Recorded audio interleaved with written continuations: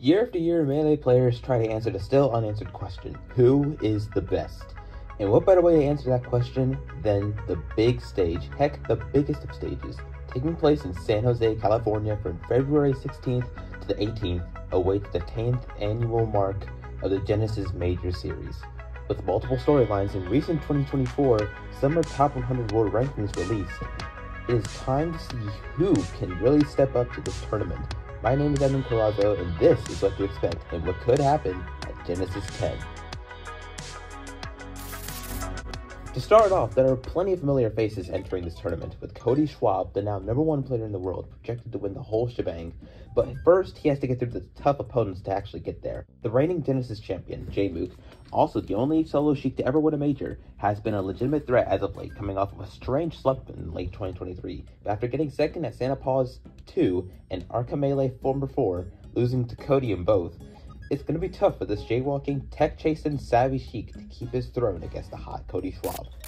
Up next we have Mango and Zain, who have both been recently grinding their hearts out for this tournament. The goat of Melee, Mango, didn't see a single first place in 2023 despite coming off of a great second half of the 2022 year.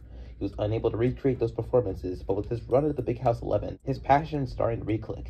And currently in Melee's darkest hour, perhaps the Mango chant holding the trophy that once belonged to him all those years ago when Genesis started 10 long years ago will finally bring peace to the game and rise it from his ashes.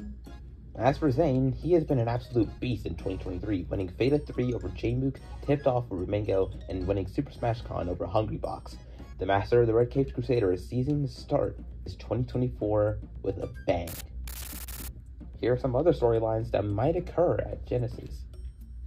Wizrobe and Plup have been both inconsistent and dominant at the same time. While failing to close the gap and winning the big events, Wesley still got first at most of the other events he attended in late 2023. And as for Plup, not only getting 5th on the top 100 PR, he also got second at the Big House 11 and his first at CEO over Wizrobe. Other notable entrants include Slug, which makes Genesis 10 his first major he's attended since main stage 2022. He has been working on his ice climbers in the shadows, but it can defeat big ones yet? Spark is another upset radar finder, with Medz also attending. The AZ duo will most definitely find some upsets on their brackets. Salt is once again on the radar list, coming off of a stellar 2023 season, finishing 14th on the top 100 world rankings. Getting first at Low Tide City, Let's Make Big News in Miami, and Ryan the Grind 2023. The best Captain Falcon in the world has a chance to make humongous upsets at this tournament, especially since she now has winning records over Melee's greats including Hungrybox and Axe. Up next is Leffen, who didn't really attend much in 2023, going only to the two majors of that year.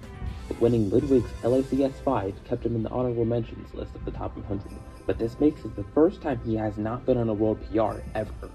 Still, fighting game legend comes off with a stellar year in other games, like winning EVO 2023 for Guilty Gear, and has a chance to get at most a top 16 seeding, if not more, for Melee. He has proven again and again he is capable of reaching the top with ease. Will he take the throne, or will he fall to other players who have been taking advantage of his lead to improve? So that's that, ladies and gents. We've seen the stats, but not the match. Who is going to be the reigning champion of the most stupendous event series in Melee's history? The now unmatched Cody Schwab, the Bensville Mango, a current champ Jmook, or someone else?